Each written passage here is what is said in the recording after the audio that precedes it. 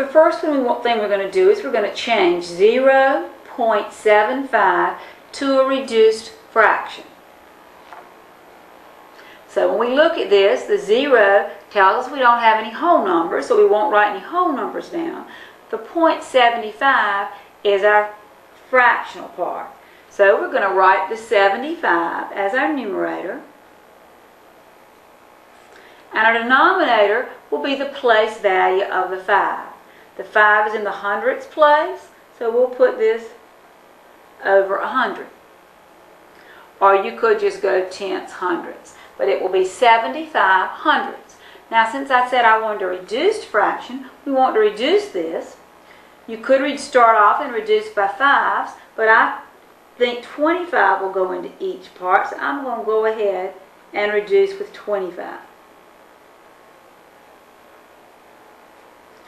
75 divided by 25 is 3, and 100 divided by 25 is 4. So the decimal 0.75 means the very same thing as the fraction 3 fourths. Let's look at another one. Let's change 4. Let's move this one up so we can see it a little bit better. Let's change 4.0550 to a mixed number and a reduced fraction. Okay, this one does have a whole number, so I would write down the 4. That's my whole number. And then when I go to the decimal part, I look and see what number I saw there, and I see 550. And because I have four decimal places, I'm going to have 10 thousandths. Or you could say this last zero is in the 10 thousandths place. So I would write down 10,000. So I have 4 and 550 10 thousandths. Now that's my mixed number, but it's not reduced. So let's go ahead and reduce that mixed number. First thing I'd like to do is mark a zero off of each. So I have 4 and 55 over a 1,000 now. And then I know both of those are divisible by 5. So that would make my, I'm still going to have my 4. But that's going to make my fractional part. 55 divided by 5 would give me 11. And 1,000 divided by 5 would give me 200. So I have 4 and 11 200ths. So that's the way I'd want to leave it if I was going to leave it as a mixed number. Now, if, if I wanted to leave the whole thing as one big reduced fraction, I could change it back to an improper fraction. 200 times 4 would give me 800, plus the 11 would be 811. And my denominator is 200. So the 4.0550 would either change to 4 and 11 two hundredths if you wanted to leave it as a mixed number, or 811 over 200 if you want to leave it as an improper fraction.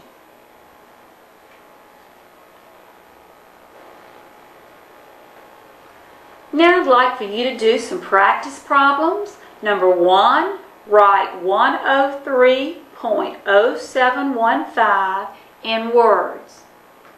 Number two, write 74 and 66 ten thousandths in digits.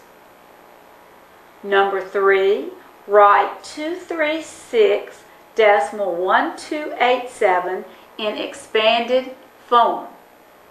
Number four, change 0.040 to a reduced fraction. Copy these problems down. Once you get them copied, cut the tape off and work the problems. When you think you have them done correctly, cut the tape back on to check your answers.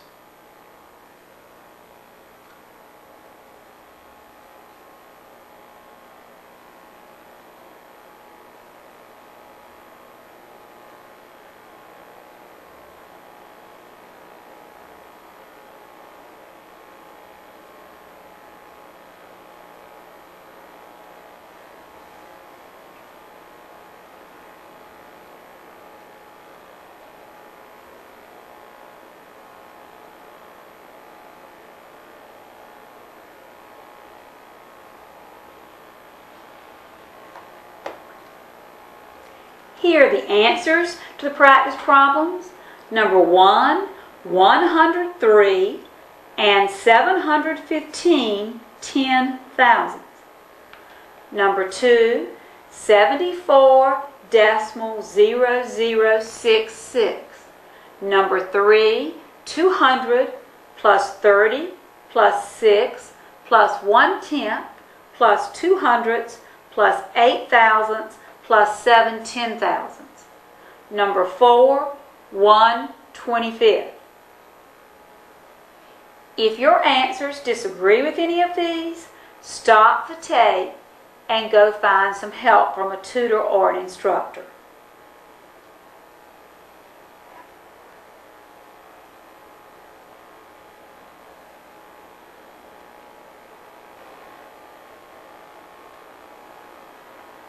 The next thing we'd like to do is to order some decimal numbers. We'd like to decide which of two decimal numbers is larger. Which is larger?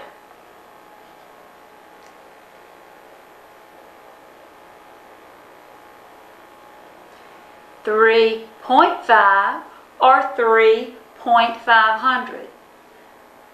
Now this is a place where you have to be mighty careful.